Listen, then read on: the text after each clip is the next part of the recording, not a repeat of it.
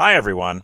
In this video, I will be introducing you to the API feature in Ivanti Patch for Windows servers. So, let's get started. The API feature enables you to execute API level calls from a PowerShell console. This feature is meant for advanced users who have a working knowledge of PowerShell and who want to perform tasks beyond those available through the normal product user interface.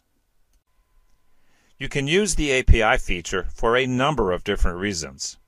You might interact with different systems in your environment, such as vulnerability scanners, password management tools, SQL Server clusters, and orchestrators such as Chef or Puppet. You might script out a sequence of complex events that contain dependencies. For example, you might patch one machine in a cluster and make sure that everything goes according to plan before proceeding with the other machines in the cluster. Or you might script out actions such as suspending nodes, starting and stopping services at certain points, or restarting machines in a specific order. You can perform bulk operations or process list inputs from other systems. For example, you might dynamically perform a scan operation by targeting systems listed in a file. Finally, you can programmatically stage patch deployments or initiate patch downloads. API commands are available for use with many functional areas in Ivanti Patch for Windows servers, including patch scanning, patch deployment, credentials, machine groups, patch groups, and power state management. You can leverage existing configuration and workflow concepts in any of these areas. This means you can reference existing credentials, machine groups, templates, logging, etc. within your API commands.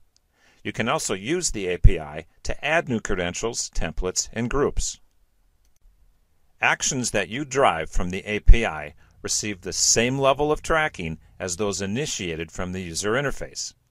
In addition, the results of API driven actions are reflected in the user interface. The results are labeled to distinguish between API initiated runs and console initiated runs. For example, in preparation for this video, I initiated a couple of patch scans using the API. If I switch to the results pane,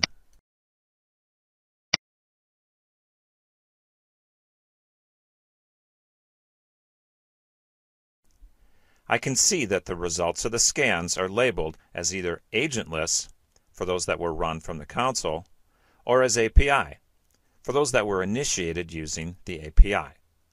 And I don't have any here, but the source column will also identify any scans that were initiated by an agent.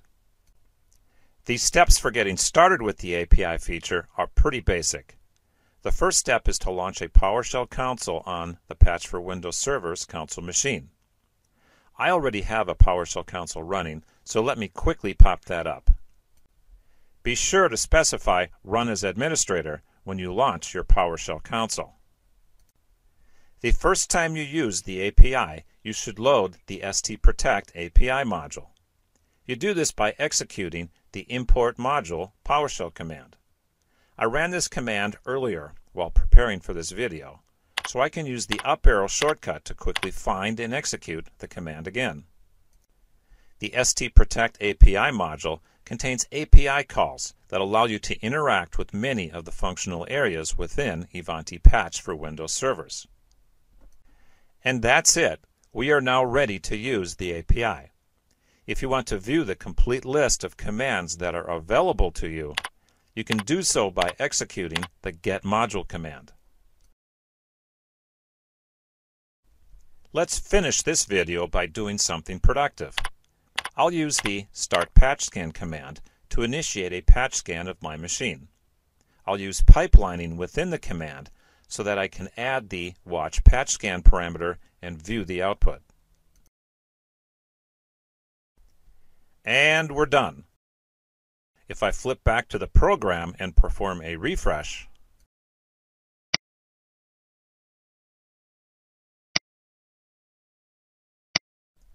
The new API-driven scan is now displayed in the results pane. And that's as far as I'll take it in this video.